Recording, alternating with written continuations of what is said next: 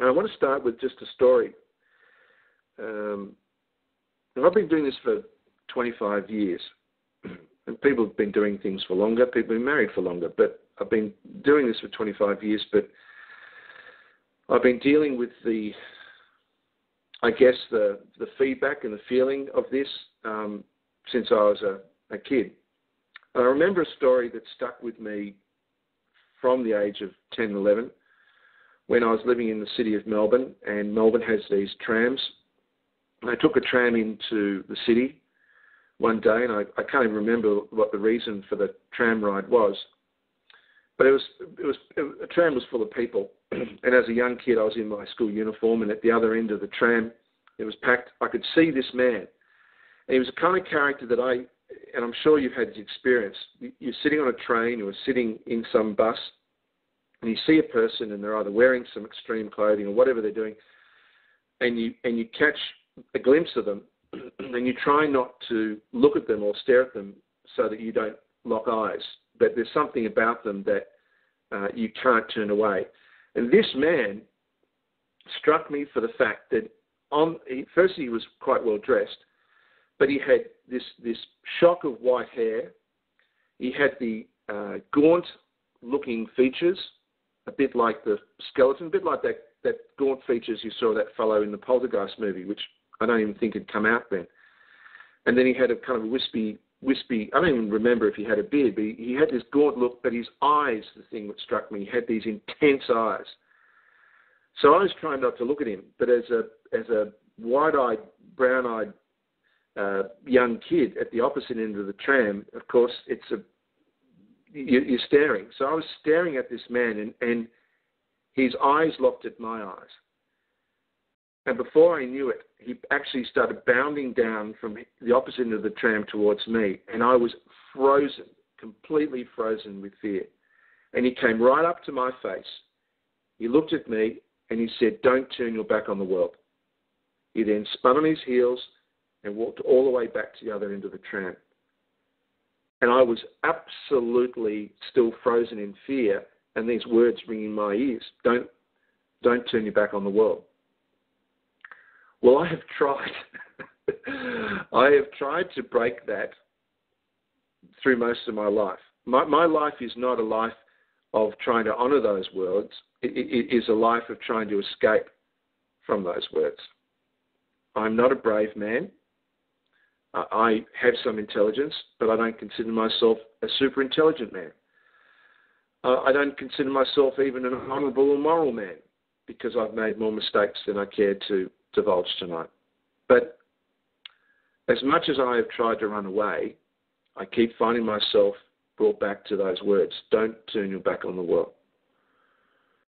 And so, what I do isn't because I wish to be a uh, Messiah, I don't wish to be glorified, I don't wish people to follow me. In fact, I say, and I say this to the people who are listening tonight and the people who, who may listen to the call.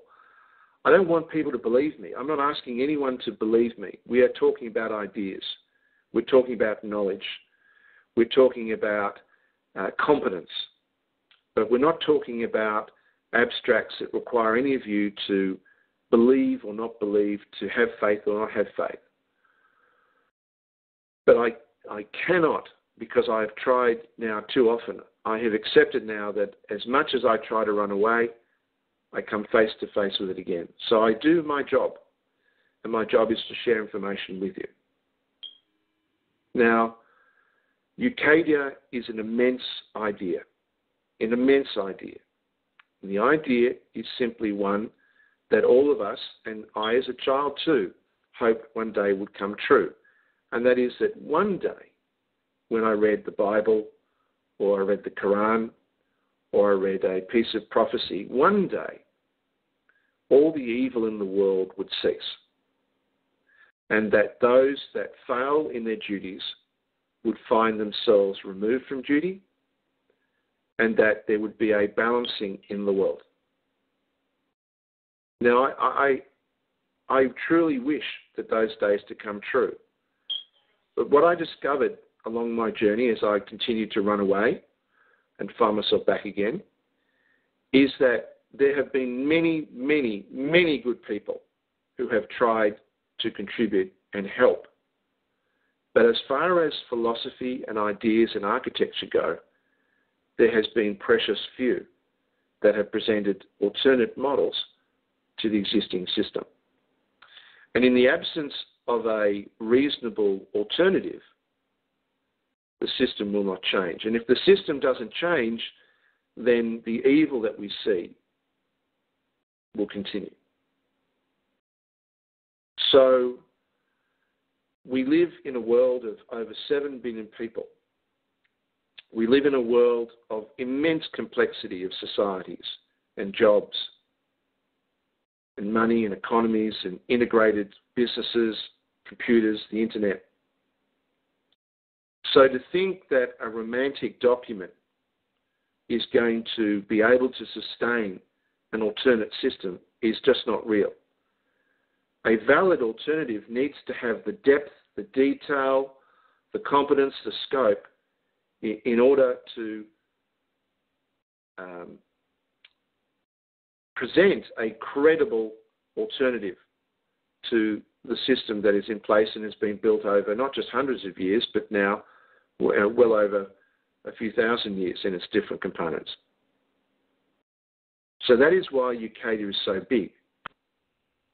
It's also why Ucadia addresses subjects like uh, money, reserve banks, Global Union Reserve Bank, uh, America's Union, Asia Union, Africans Union, Euro Union. It's why it deals with complex ideas like uh, the Globe Union Society, the Africans Union Society. These are trusts, by the way. And we'll talk about more about trusts in, in a moment and the conveyance of property and the importance of what Ucadia is able to present in the conveyance of property. It's not the New World Order. Why? Because the New World Order has already been in place for many, many years. I mean, one of the great misapprehensions or misdirections or whatever causes it that people find themselves in is believing that the New World Order is something that's coming. It's already here. In fact, we've gone through at least three versions of what one would call the New World Order over the last 200 years. Three versions. So if people are worried about the New World Order, they should really paraphrase it as the new, new, new World Order, because we already have been going through several versions of the existing system. But in the absence of an alternative, in the absence of a credible model, then the system that we see at the moment that is imprisoning people and torturing people and taking their homes, taking their jobs, and killing people is not going to change. Can't change. Because the alternative is anarchy. And anarchy is not a basis of sustainable society. It might be the desire of one, but it is not a way of sustaining a society. So I understand the complexity of it. I understand that it's easy for people to pick out one page of over 40,000 pages that represents the Ucadian model and say, look, I found on one page, Frank says here that uh, he supports a concept of a single currency. I've been writing this for 25 years, and I apologize to each and every one of you that I have not yet come to correcting all the pieces. It's, a, it's an ongoing journey and an ongoing set of, of uh, ideas. But I have learned something, and there is something to be learned for me as it is for, for all of us, and that is it's not my job to do it all on my own. It's my job to present ideas and frameworks, but ultimately it is your choice whether you wish to participate and see those ideas become a reality. So I'm not going to be spending the rest of however many days, years, months, or whatever I have living trying to do this insurmountable task on my own. It is time for me to start showing you and sharing with you how you, if you choose, can help participate and make this a reality. So again, there is a lot of confusion, there is a lot of concern, and it is easy with something this size to simply point the finger and say, look, Frank talks about, okay, the Treaty of Lucifer. Frank's talking about these ideas that clearly, clearly seem at odds with what we're taught. And it's easy to erupt fear. And I'm, I'm sorry that I, I seem to leave these, uh, some ideas that people think are great, but leave it open for others to come along and, and point fingers. But there is a strategy in all of this. You know, if, if, if there is war in heaven, then there can never be peace on earth.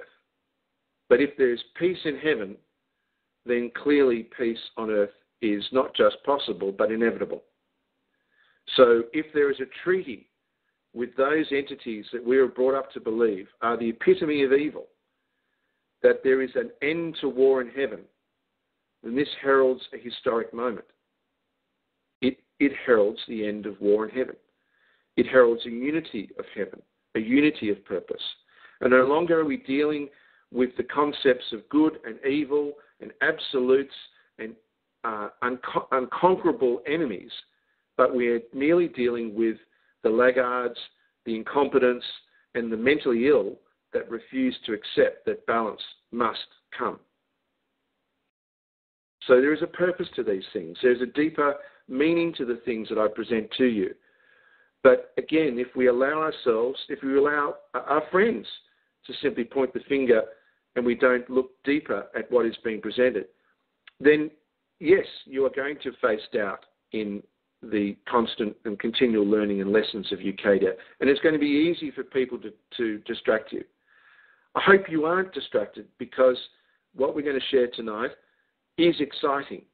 It's back to those dreams as a child where one day, one day, the evil, the imbalance, the illness that we are surrounded by will, will and can come to an end.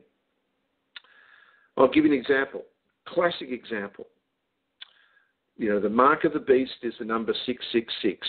I mean, it is ingrained in our psyche from a very early age, and Hollywood certainly helps us promote that in raising that symbolism in front of us. Now, this is a point of, of, of apocalyptic writing from John of Patmos, a Nazarene. And the symbolism of that, uh, when we think of it, we, we automatically assume that the mark of the beast 666 has a direct relationship to Satan, Lucifer. Well, by the way the world is operating at the moment, they absolutely place an association with Lucifer because they have already marked us with the mark of the beast. Now, just as I said, the New World Order has gone through at least three versions that I know of in the last few hundred years. The mark of the beast has been there for a long time, much longer than, than I believed it had been there. They branded us with the mark of the beast hundreds of years ago. And we have been living under that mark ever since. And what do we mean by that? Well, let's look beyond the superficially, superficiality of, of the word beast. The word beast, yes, has a meaning in the meaning of animal, but it also has the meaning, to other meanings that we may not originally see, which is fool and idiot. So the mark of the beast isn't simply the mark of the animal, it's the mark of the fool, the mark of the idiot. Well, that's a little bit different. Well, where is something that we see that we are marked three times as a fool and incompetent? If you've listened to the previous talk shoes and you've looked at some of the work we've been doing, we have been honing in on a fundamental element of the system, which are these Que Vie trusts, which judges and magistrates, which lawyers and, uh, and prosecutors have been denying that exist.